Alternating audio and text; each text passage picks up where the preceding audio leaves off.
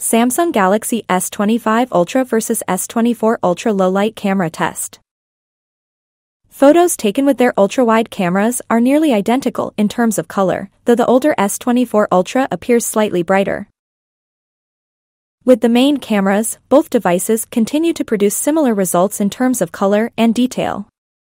Just like before, the S24 Ultra maintains a slightly brighter exposure. The difference becomes more noticeable at 2x, but as we know, brighter does not always mean better. Personal preference plays a significant role here. At 3x, the S25 Ultra preserves my skin tone more accurately and handles background lighting more effectively.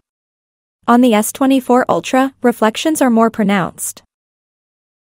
At 5x, both devices, equipped with dedicated periscope sensors, capture fantastic images.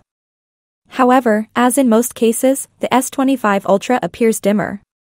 Let me know in the comments which one you prefer.